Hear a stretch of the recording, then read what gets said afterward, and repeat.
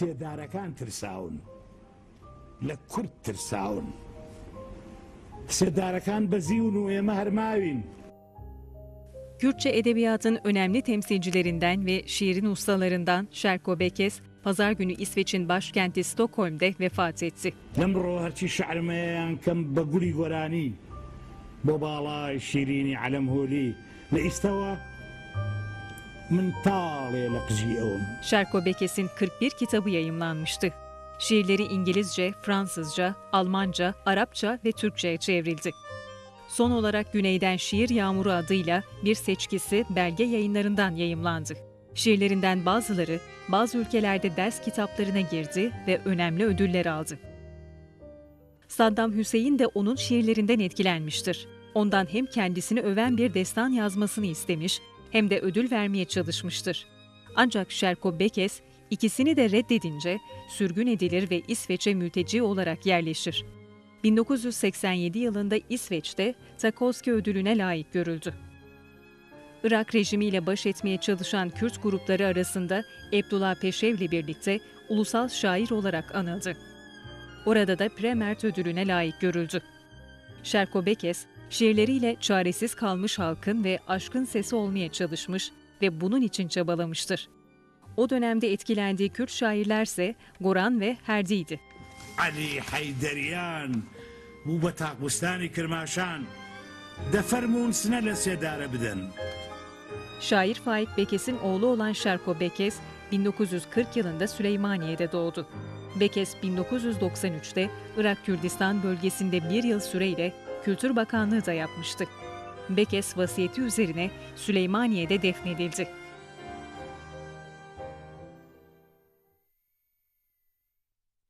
Evet, Şayko Bekes hayatını kaybetti. Daha önce haberlerimizde vermiştik. Ancak biz bu akşam Bekes'i konuşacağız. Abdullah Keskin Avesta yayınlarından benimle beraber. Hoş geldiniz. Hoş bulduk. Merhabalar. Şimdi Avesta yayın evinin şöyle bir özelliği var. İlk kitabı Evet. Bekes'in kitabı. O kitabın hikayesini dinleyelim önce sizden. Nasıl yayınlanmaya karar verdiniz? Verdiniz. Ee, biz e, 95 e, yılında Avesta'yı e, kurmadan önce e, Ruken Bağıt'ı o zaman e, daha yeni evlenmiştik ve uzun bir dönemdir e, 90'lı yıllarda gene Güney Kürdistan'dan e, o dönem Halepçe'den sonra baya bir göç oldu. Gelen bir arkadaşımız burada gazetede çalışıyordu Bedran Ahmet Habib. O e, beraberinde Şerko Bekes şiirleri getirmişti Arap alfabesiyle ve Surani e, diyalektiyle falan. E, birkaç defa bunun Kurmancı'da nasıl duruyor Şerko Bekes diye denemelerini e, yapmışlardı. Sonra derli toplu bir defterde görünce Aa, bunlar mutlaka yayınlanmalı dedim. Ama henüz daha Avesta e, yok ortada. Biz yayınlamak için bir takım girişimlerde bulunduk. E, bir takım yayın evlerine verdik ama birçok yayın evi o dönem hem Kürtlerle ilgili Türkçe kitaplar hem de Kürtçe kitaplar ve pek e, ilgi yoktu. Yayınlamaktan vazgeçtiler. Zaten bizim uzun süredir böyle bir yayın evi kurma düşüncemiz vardı E, ve bu biraz daha o adımları hızlandırmamızı sağladı. Avesta'nın kuruluşunda çok büyük bir e, etkisi oldu Şerko Bekes'in ve e, şiirlerinin ve e, ilk şiir, ilk kitap e, olmasına e, karar verdik. Güney'den önemli bir kültürel ve politik figür, başka bir lehçeden kurmancıya uyarlanıyordu. İkinci kitabımız da Mehmet Uzun'un Kader Kuyusu, Bira Kaderi romanıydı. Ne yazık ki ikisini de aynı hastalıktan, kanserden e, kaybettik. Şergo Bekes'le, e, Şergo Bekes'in e, yaşamını yitirmesiyle Kürt edebiyatı, Kürt şiiri çok çok önemli ve son önemli temsilcilerinden birini e, kaybetti. E, Kürt şiirinde modern e, üslubun, tekniğin en e, önemli yaratıcılarından e, biriydi ama şiiri ya, ya yepyeni bir şiir oluştururken kişiliğiyle, e, toplumsal bir figür olarak, siyasal bir figür olarak, karizmasıyla da e, eski zaman e, yazarlarını, şairlerini çağrıştıran e, bir şeyi vardı, bir kimliği vardı. Ben mesela Süleymaniye'de 2004'te, 2005'te, 2006'lı e, yıllarda birkaç konferansta e, bir araya geldik. E, Serdem diye bir yayın evinin yönetmenliğini yapıyordu. Orada e, bir araya geldik. Oralarda şiirini bizzat ağzından dinleme imkanım olmadı. İstanbul'da dinledim ama şunu hatırlıyorum mesela çok önemli bir toplantıda Şerko Bekes diyelim ki 5 dakika geç gelmiş.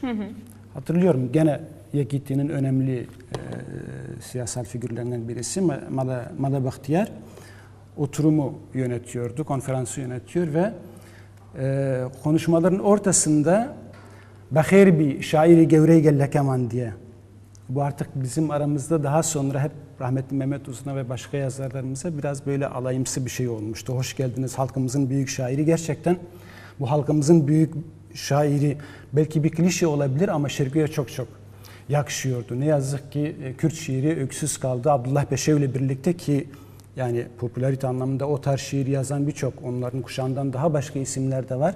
Ama biliyorsunuz günümüzde bir anlam üretmek, e, bir anlam üretmek veya iyi bir şiir yazmak tek başına yeterli değil. Bir de bu şiiri e, birçok farklı ülkelerde farklı kitlelere benimsetmek de evet. Önemlidir. Şerko Bekes bunu başarmıştı. Peki e, Türkiye'li okuyucuyla Bekes'in şiirlerinin buluşmasını hiç Bekes'le konuşabildiniz mi? Hayattayken o karşılaşmalarınızda. Evet, e, İstanbul'da 2-3 defa bir araya geldik. E, aslında bu kitaptan önce Şerko Bekes ilk kez 91'de e, Kültür Bakanlığı yaptığı dönemde buraya geldiğini hatırlıyorum. İlk orada ayaküstü bir tanışmamız hı hı. oldu. 93'te ben e, Ankara'da bu önemli bir Turgut Özal dönemindeki ateşkes e, döneminde Celal Talabani ile Mam Celal ile bir söyleşi yapmıştım. Söyleşi sadece yani siyasi meselelerle sınırlı kalmadı. Ona hangi Kürt şairlerini sevdiğini, nelerle ilgilendiğini biraz e, birçok farklı konuda da e, bir söyleşi yapmıştık. Klasikleri yani Malayzisi yan, yanlış hatırlamıyorsam Malayzisi Ahmet Hani yani klasikleri saydıktan sonra ama benim için Şerko Bekes yepyeni bir şeydir. Ee, en çok onun şiirlerini okuyorum fırsat bulduğumda falan e, demişti. O da bayağı bir merakımı e, kamçılamıştı. E, ama biz bu kitaptan önce Türkçe aynı e, aşağı yukarı çünkü bu e, bir seçki olmakla birlikte aslında küçük aynalar e, sorunca ne denir? AVN çikolata gibi bir şey yani küçük aynalar, neyniken küçük. Oradan yapılmış bir seçkidir. Biz e, şeyini değiştirdik. Ondan önce küçük aynalar ismiyle Türkçe olarak çıktı ama e, pek duyurulmadı, şey yapmadı. Bununla birlikte e, biz ilk kitabı yayınladığımızda işte yayın evi Kürtçe ile çıkıyor ve bir şiir kitabıyla çıkıyor. Herkes çok şaşırmıştı. Hatta siz batmak istiyorsunuz, bu işi yapmak istemiyorsunuz. Hele şiir, o dönem özellikle evet, şiir o dönem ve Kürtçe için. şiir siz bu işi yapmak mı istemiyorsunuz diye. Ben de hayır yani bu bunlar ilgi görür. Yani e, bu mutlaka bir ilgi görür ama gerçekten bizim umduğumuzun çok çok ötesinde bir ilgiyle karşılaştı. Kısa süre sonra zaten ikinci baskısını e, yaptık. Bunların bir kısmı afiş oldu, bir kısmı anonimleşti, bir kısmı önemli bir kısmı bu kitapta yer alan e, şiirlerden birçoğu bestelendi genç sanatçılar tarafından. En sonda mesela Çar Zarok diye Takurak sizin televizyonda da çıkmıştı. E, Takurak diye e, bir grup Çar Zarok'u besteledi. İstiyorsanız ondan Lütfen, hemen, okuyayım. Hemen. E, gelişi güzel çevirmeye çalışacağım. Hı hı. Bir yanlış olursa çok şey. E, Le İrani Çar Zaroken Fars, Türk, Harebu Kürt. İran'da dört çocuk. Fars zaten kelimeler hmm. ortak burada. Türk, Arap ve Kürt. Ve ne Amerika'yı çekirin. Bir erkeğin, bir adamın resmini yaptılar.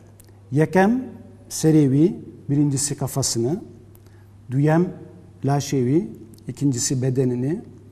Seyem Destupiyevi, üçüncüsü el ve ayaklarını çarem yani Kürt olan çocuk çek Dani Sermlevi silahı omuzuna astı. Şimdi e, bu belki farklı bir şiirle başladık yanlış bir izlenim yaratmasın. Aslında Şirko Bekes tabi bunu böyle yazmakla birlikte ben gene bir küçük bir hatıramı anlattı, anlatayım. 2009'da İstanbul'a geldiğinde bir yere bir yemeğe gittik. Bizim Rusya'dan, Rusya Kürtlerinden, Ermenistan Kürtlerinden bir misafirimiz gelmişti ve orada onları tanıştırdım. Biraz Kafkasya Kürdü ve Süleymaniye Kürdü. Bir de Süleymaniyeliler Kürtçelerinden asla taviz vermezler. Şehir insanları zaten onlar da göre tek bir şehir orada Süleymaniye. biraz mecburen birbirlerini anlamaları için e, yardımcı da olmaya çalıştım. Mesleğini sordu falan işte daha önce silah fabrikalarında e, çalıştığını, çok fazla silah ürettiğini söylemişti. Şerko Bekes e, panikledi. Yani bu bütün Rusya'nın silahlarında senin emeğin mi var bir Kürt Eyvah. olarak falan diye bayağı bir bozmuştu yani sinirlenmişti. Ee, şimdi şöyle bir şey söyledik gerçekten büyük bir şairdi diye. Biraz rica etsem onu büyük kılan neydi Kürt dili açısından? Belki biraz şiirinden bahsetmek gerekir. Şimdi aslında Şerko Bekes e, yaslandığı bir gelenek var. E, 40'lı yıllarda e, doğuyor. E, Güney Kürdistan'daki istiyorsanız bu e, edebi gelenekten biraz bahsetsek o background'un arka Belki planının de evet biraz arka e, planı vermek adına daha iyi olabilir. anlaşılması için. Şimdi e, bir- Kürt kültürünün aslında en önemli ilkleri İstanbul'da e, olmuştur. İmparatorluğun yani ilk gazete burada çıkmış, ilk parti burada olmuş, ilk dernekler falan birçok şey burada olmuş. Güneydekiler de burada ya Aşiret Mektebi'nde ya Rüşdiye'de okuyorlardı ve imparatorluğun dağılmasıyla birlikte herkes kendi evine e, döndü. E, 20'li yıllardan sonra e, Süleymaniye tabi 200 yıl önce kurulmuş bir e, şehir. Kürtler tarafından, Baban emirleri tarafından kurulmuş bir şehir ve her zaman kültürel e, açıdan Kürt tarihinde çok önemli bir yere sahip olmuştu. Bu dönemlerin önemli bir kısmı Süleymaniye'ye yerleşti. Tevfik Vehbi gibi, Piramert gibi, Mehmet Emin Zeki Bey gibi ki Kürdistan, Diroka Kurdu Kurdistani Şerefname'den sonraki en önemli tarih kitabını yazmıştır. Tevfik Vehbi Edmonds'la birlikte Süleymaniye'yi yöneten İngiliz siyasi subayla birlikte İngilizce Kürtçe sözlük e, hazırlamıştır. E, sonra işte gazeteler çıkıyor. Şeyh Mahmud şeye baş kaldırıyor İngilizlere ve büyük ciddi bir savaş çıkıyor ve e, e, sivil katliamlarını da e, yapıyor İngilizler. Şevket Bekes'in babası Bekes asıl şeyi oradan geliyor. Çok çok klasik önemli bir şair. iki savaş dönemi e, arası kuşakta yer alıyor. Yanılmıyorsam 48'de vefat etmiş. E, şeyle çok Bekes ünlüdür. 8 yaşındayken üstelik, değil mi?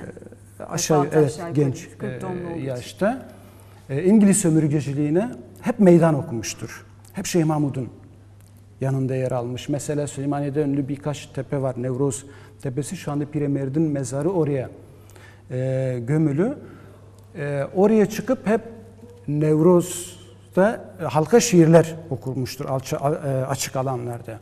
Şimdi bu şiir geleneği dünyada tabi biraz e, değişiyor. Ciddi bir değişimden e, geçti ama güneyde bu gelenek çok çok canlı. Meydanlarda şiir okumak hala Türkiye'deki gibiydi. Türkiye Kürdistan'ında da biraz var ama o kadar canlı bir gelenek değil. Bu gelenek hala çok ciddi bir şekilde korunuyor. Yani orada mesela konferanslar yapıldığında gidiyorsunuz. Normal bir konferansta 20-30 kişi dinlerken şiir matineleri dolup taşıyor yani hala. Öyle ve o alanlarda halkı İngiliz e, sömürgeciliğine karşı kışkırtmaktan dolayı şey yapıyor.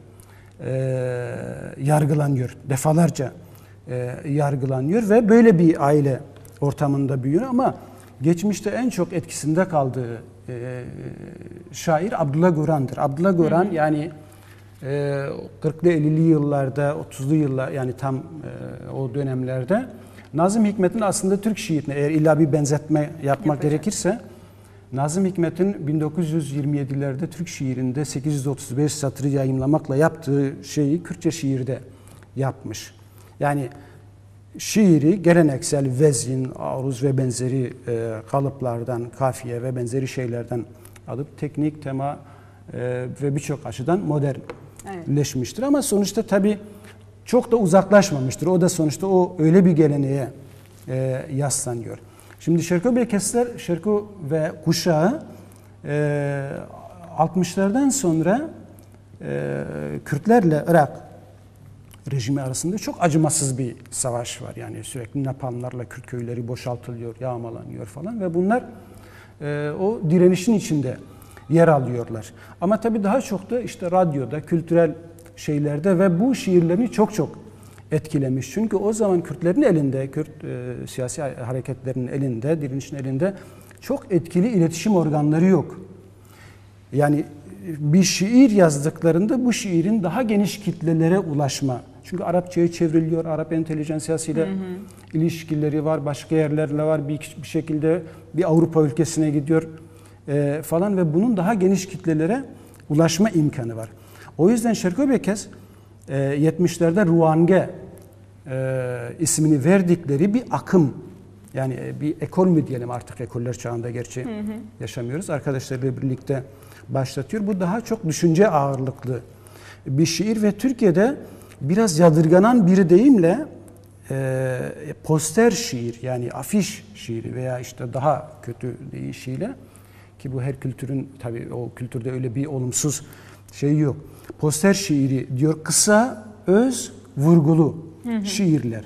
Herkesin anlayabileceği son derece sade ama son derece e, vurucu ve insanı e, etkileyen şiirler. Mesela istiyorsanız bir tane Lütfen hemen araya bir tane daha alabiliriz. Çeviri çok kötü olmadı değil mi? Ee, yok hayır. Biz Anlaşılıyordu yani. Kürtçe bilmeyenler anlıyor. Ben anlıyorum en azından. Buyurun.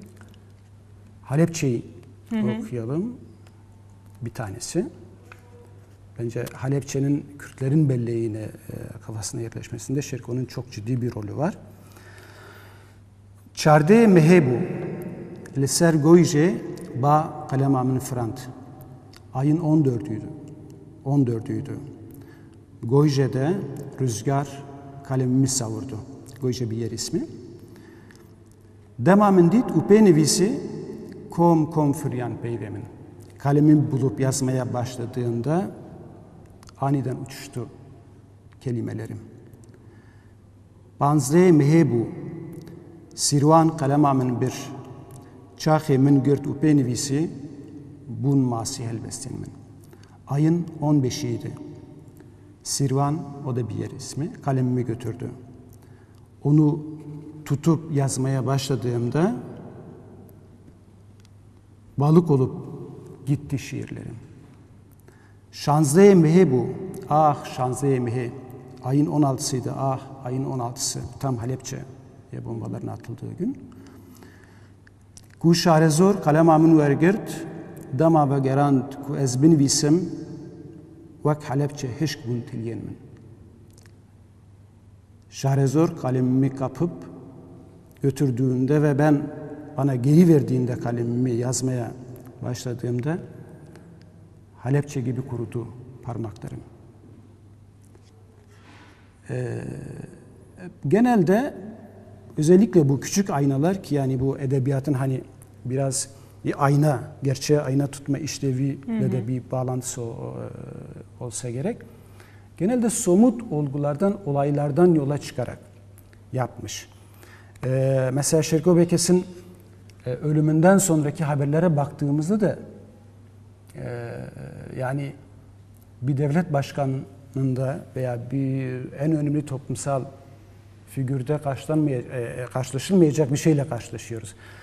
Yani e, bir taraftan diyelim ki tabii tam şeyi takip edemedim oldum olmam ama gazetelerde haberini okudum. Neçirvan Barzani bizzat cenazesini e, havaalanında karşıladı. Cemil Bayık özel olarak teşekkür yayımladı. Yani ölümünden sonra Cemil Bayık KCK Başkanı teşekkür e, yayımladı. E, dünyada birçok yerde kimse nasip olmayacak şeyde Özgürlük Parkı'nın içinde e, gömüldü o özgürlük heykellerinin, enfalde öldürülen insanların heykellerinin e, yanında gö- e, gömüldü. Yani İsmail Beşikçi için şiir yazdı zamanında. Vakti geldi mesela Abdullah Öcalan Türkiye'ye getirildiğinde şiir yazdı. Yani bir taraftan yani hem çok, Çok güncel, de evet ama değinen- hiçbir zaman hiçbir zaman şiirini e, güncele de kurban etmedi. Bu güncel konuları işledi ama hep kendi e, bildiği şekilde işledi. Hiçbir zaman her zaman yani kendisi sonuçta Yekiti'nin önemli yani gerçi siyasi şeyin çok içinde yer almadı ama yani e, Yekiti İçtiman da e, KYB ile içinde yer alıyordu ve ilk kültür bakanı Güney Kürdistan'ın ama hep bir şekilde partiler üstü kalmayı da başarabildi. Zaten güneyden, kuzeyden, Rojava'dan, Rojlat'a kadar falan bu kadar geniş bir yankı, bu ölüm bu kadar geniş bir e, yankı yaratmasında da bu tür şeylerin çok büyük rolü var. İste, istiyorsanız biraz Beşikçi Hemen ondan önce şey sormak istiyorum. Ee, Bekes kimsesiz demek. Evet. Peki bunca yankı yarattı aslında. Ee, kimsesiz olmayan birinden bahsediyoruz. Bu mahlas nereden geliyor?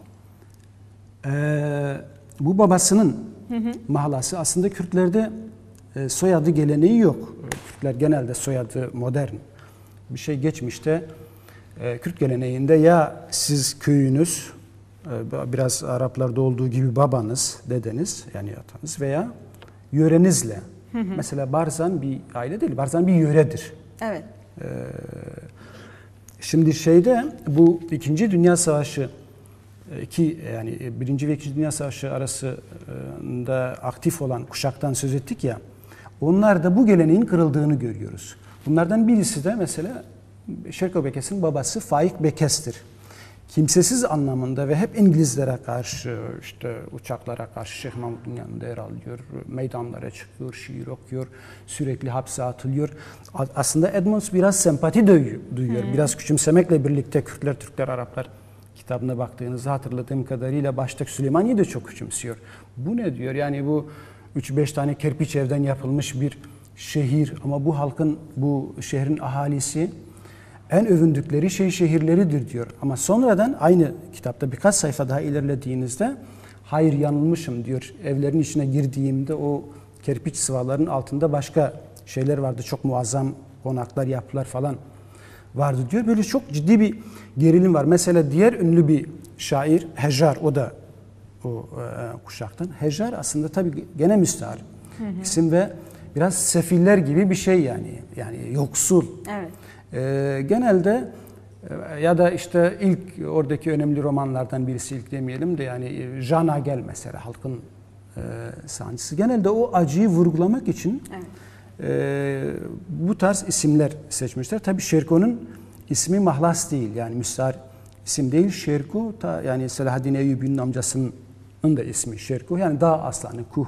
Şer aslan ve kuh e, dağ Demek. e, demektir. Babasından e, şey olarak aldı. Beşikçi için yazdığı şiiri alalım ama şöyle bir talep var sizden. Hiç kesmeden Kürtçe duymak istiyorlar. Arkadan belki özetleyerek tercüme edebilirsiniz. Ya da satır satır, dize dize. Da- Darekê got em niha dikarin navê te li niha nikarin navê te li baxçekî nav Qamişlo kin. Kevirekî got em niha nikarin peykerekî te li ser singa Baba Gurgur ji bo te çêkin. Şehrek got em niha nikarin navê te li kütüpxaneyeke seblax kin. Dawî Kurdistan got. Ew wek gul, şehr û azadî te di canê xwe de hilgirin. Ee, İsmail Beşikçi için şiirin ismi. Ee, bir ağaç dedi ki şu anda senin ismini Diyarbakır'da bir caddeye veremiyoruz. Bir çiçek dedi ki şu anda Kamışlı'da Suriye Kürdistan'ında Rojava'da bir bahçeye adını veremiyoruz. Bir taş oradan atıldı dedi ki şu anda senin heykelini Baba Gurgur bu Kerkük'te ilk petrolün çıktığı alevlerin olduğu yer göğsüne dikemiyoruz. Şi, bir şiir dedi ki şu anda senin ismini Seblağ'da İran Kürdistan'ında bir şehir bir kütüphaneye veremiyoruz. En son Kürdistan dedi ki şu anda yapabileceğimiz tek bir şey var. O da şu. Biz seni gül, şiir ve özgürlük gibi canımızda, e, yüreğimizde taşıyabiliriz. Hiç durdurmak istemiyorum. Ben e, yani bıraksam siz baştan sona okuyun diyeceğim ama hem süremiz kısıtlı hem belki de anlatacak birkaç şey daha var. Güney ve kuzeyin ilişkisi açısından nereye oturur Bekes? E, Bekes aslında e, biraz önce değindiğimiz gibi yani e, şeye bigane değildi yani Kürdistan'ın diğer parçalarına bigane değildi. Muhtemelen e, şu anda değil zaten geçmişte de yazmış mesela e, Hamoy Küçükü Boyakçı diye bir pısta pıstak bir fısıltı diye bir şiiri var. Büyük Şam'da bir Kürt çocuğunun duygularını onu da aslında zamanımız varsa e, okumak isterim. Çok hoş bir e, şiir. Yani muhtemelen şu anda Rojava üzerine en herkesin meydanlarda söylediği şiirler e, imza atacaktı. E, geçmişte de e, yazdı. Ama mesela ben bir gözlemimi söyleyeyim. Şeyde e, biz kitabı yayınladıktan birkaç sene sonra görüştük ilk Süleymaniye'de. Ee, o zaman bu işi çok önemsemediği gibi yani Latin alfabesine çok mesafeliydi. Ben anlıyorum mesela Sorani'nin alfabesi bana göre de Arap alfabesi ama Kurmancı'nın Latindir. Hı hı. Hatta Kurmancı'ya da biraz fazla mesafeliydi. Ee, yani gene de hoşuna gitti hediye olarak götürmüştüm kitapları ama o Abdullah Beşer'de de bunu gördüm. Abdullah Beşer de sonradan ikisi de e, yemek yerken bir yerde otururken e, bir itiraf mı diyeyim yani söylediler açık açık söylediler. Aslında biz başta bu işe karşıydık dediler. Yani kitaplarımızın Latince ya da işte ya Kürtçe Kürtçedir. Hatta bize o zaman bizi çok eleştirenler de olmuştu. Yani hunnen binen redhun yani ekmeği ekmekle mi hmm. yiyorsunuz? O yüzden biz hala mesela şey diyemiyoruz yani Sonra aslında yapılan iş bir çeviri çünkü bir kere bir alfabe farklılığı evet, var. kesinlikle. Ee, ama biz hala Sorani'den Kurmancı'ya diyoruz. Yani direkt nitelemiyoruz. Ee, ve buraya Türkiye, Kürdistan'a, Türkiye İstanbul'a gidip geldiklerinde mesela Abdullah Peşe Batman'a gelmişti. Şeyde e, Bekes dediniz ya e, mesela 2006 mıydı 7 miydi tam hatırlamıyorum şu anda. Şerköy Bekes Diyarbakır'a geldi ve orada çok e, duygulanmıştı. Yani daha sonra görüşmemizde yani e, hayatının en duygulu anlarından birisi e, olduğunu söylüyordu. Sanırım o zaman e, Osman Baytemir Belediye Başkanı senin soyadın kimsesiz ama bak hepimiz Buradayım. senin annen baban her şeyin yani hiç kimsesiz falan değilsin. Çok ciddi şekilde onore etmişlerdi şiirlerini e, okumuştu ve ondan sonraki görüşmelerimizde mutlaka bütün kitaplarının burada Kürtçe ve Türkçe olarak yayınlanması Türkiye e, kamuoyunu, Türkiye'deki edebi çevreleri hı hı. de çok önemsiyordu. 2009'da yanılmıyorsam şeye gel, Şiir İstanbul'a e, katıldı. Orada birçok insanla e, falan tanıştı. Çok daha daha ciddi şekilde bu işin üzerinde durmaya başladı. Peki Avesta'nın bir planı var mı? E, Türkçeleştirilmiş şiirlerini yayınlamak gibi. Biz genelde e, yani bizde edebiyat daha çok Kürtçe hı hı. ağırlıklıdır. E, çok fazla tercih etmiyoruz. Yani bir yemeği birkaç defa ısıtmak gibi evet. bir şey oluyor. Yani evet. tek tük birkaç örnek yaptık ama onu daha çok Türkiye'deki yayın evlerinin e, yapmasını hı hı. E, bekliyoruz ve bu konuda da zaten elimizden gelen her türlü katkıyı, her türlü şeyi yapıyoruz. Türkiye'deki kültürel ortam şu ana kadar Kürt edebiyatına, Kürt diline bilinen sebeplerden dolayı son derece ön yargılı ve kapalıydı ama bunun bundan sonra ciddi şekilde değişeceğini e, ve Kürt e, edebiyatının e, diğer parçalardaki de dahil olmak üzere Türkçe'de alması gereken yeri alacağına inanıyorum. Yani bu yönde bir sürü çaba var. Biz şu an şey yapmak istemiyorum. Yani kesinleşmiş gibi ama zaten bu önümüzdeki dönemde duyurulacak. Sizden son bir şiir daha alalım. O bahsettiğiniz şiiri alalım ve sohbetimizi öyle sonlandıralım. Tamam. Bu uzun ama şey mi? Kürtçesi Olsun. Önemli değil. Kürtçesini yine kesin. En uzun şiiri bu. Gerçi sonradan daha bu kitabın çok uzun en uzun şiiri Onu bu ama bir sayfa vak- zaten. vaktimiz var. Kürtçesini kesintisiz bir şekilde alalım sizden yine. E var bu. Hemoye piçuki boyakçı li kuncike meydana mezin li navdili bajarê Şamê. Serê westiyayê tawan dibû wek firça nav destê xwe لاشی خۆی زراف بلەز بلەز دەهێژاند. هەمووی بچووکی هاوارە دەبەرخۆدە bi pistapist ev digot. Tu mamoste piyê xwedeyne, tu bazirgan piyê xwedeyne, zabû, casus, leşker, celat, mirovê baş û mirovê pîç. Hûn hemû yek li peyekî piyê xwedeynin. Kes nema, tenê xwedê me, Ez bawerim li wê dinyayê jî Xwedê ji bo boyakirina pêlavên xwe wê gazî Kurdekî bike. Kî dibe ew Kurd ne esim? Ah dayê, tu dibê pêlavên Xwedê çi qas mezin bin? Çend numre nelingên wî? Lê ji bo pere, dayê tu dibê Xwedê çi qas bidê? Şimdi gene üstten üstten biraz dur ama çevirmeye çalışayım. En azından evet. Akşamdı. Küçük boyacı hemu biraz otomat olacak. Ee, Şam şehrinin büyük meydanın bir köşesinde yorgun kafasını önüne eğmiş, elindeki fırça gibi incecik bedenini hızlı bir şekilde sallıyordu. Küçük avare hemu kendi kendine fısıltıyla şunları mırıldanıyordu. Sen hoca koy ayağını. Sen tüccar koy ayağını.